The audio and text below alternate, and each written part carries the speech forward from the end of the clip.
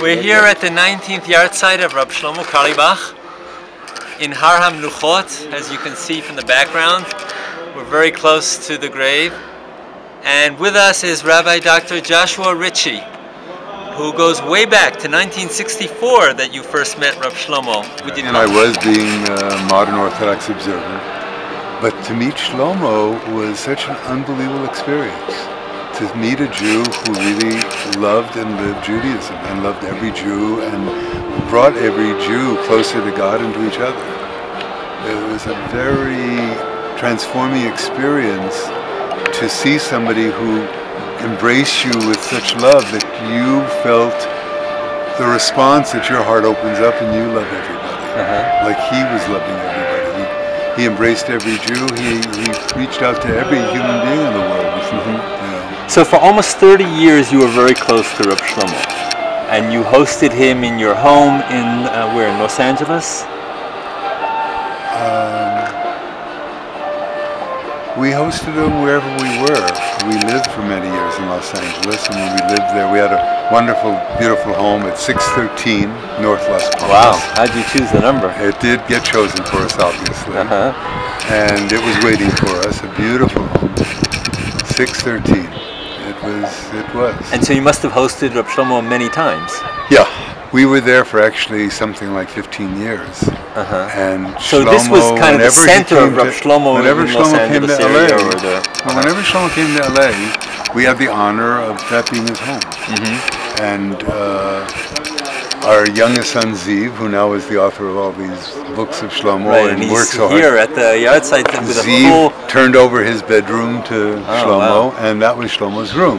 Uh-huh. And uh, so that that was Shlomo's room whenever he was in LA, and he would often he'd only stay a day or two or three, and often he would stay a week or two on occasion. And when he came for these extended periods of times, he would teach in your home, uh, uh, as well as leading singing. What, what else would they do?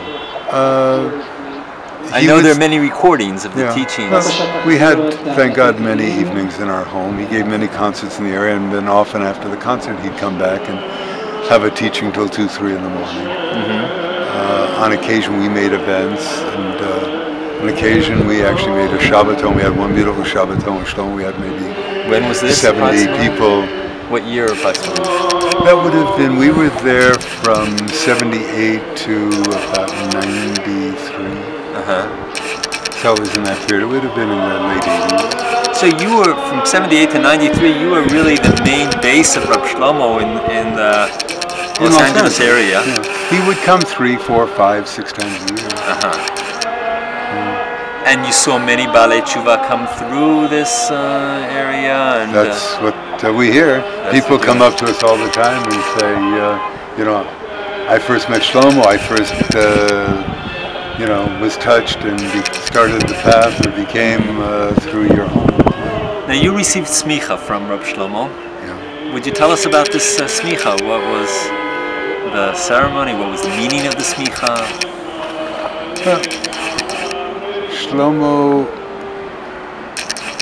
was looking to give smicha to a few people that he felt you know, would carry on his message and be his type of uh, musmachim. Uh-huh.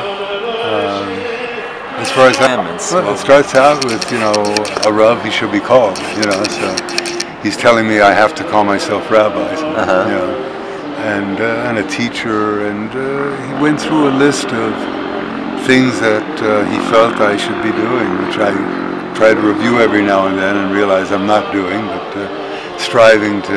Like what, for example, did you think you should be doing? Building, uplifting people, drawing people close, uh-huh. teaching, inspiring, uh, counseling. Mm-hmm. Uh, you know, it's. Uh, but you've established a whole counseling center. It's true. So you've certainly built up a uh, legacy that continues Reb Shlomo's path. I try. Yeah, mm-hmm. I and my wife uh, do, and uh, we feel what we are teaching is, you know, I've learned, I think the approach that I learned is really a Shlomo approach, and I was privileged also after getting to be know Shlomo, I came to settle in Jerusalem What year did you come on Aliyah? That was in '68. Uh-huh. Oh, in '68 you came, but then We- you went back to Los Angeles. We also were back and forth. Right? Uh-huh. We came up to Israel um, Right after the several Six Day. War.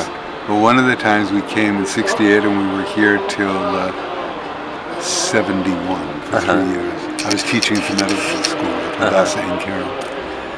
And in those years, that was that was very special. And there you also hosted Reb Shlomo in, when you were In here. Bayit Vegan, we used to You were living in Pagan. Then you became close to the Amshin of uh, Rebbe Rebbe, yeah. at that time when you were in Bayit Vegan. So you also have a, another unique connection there with Reb Shlomo and the Amshin of uh, Rebbe.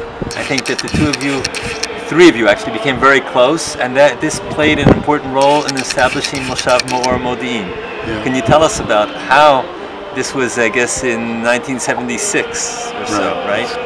That uh, through your uh, efforts, the Admor of Amshinov was able to enable Pai to Poalei Agudat Israel to uh, establish the Moshav for Shlomo's Hasidim. Can you Yeah. tell us what happened? You said it very nicely.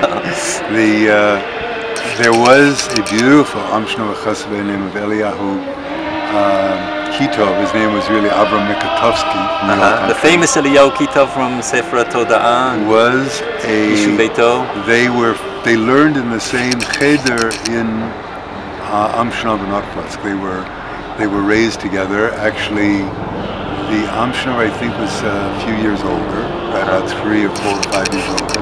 But they were in that same little cheder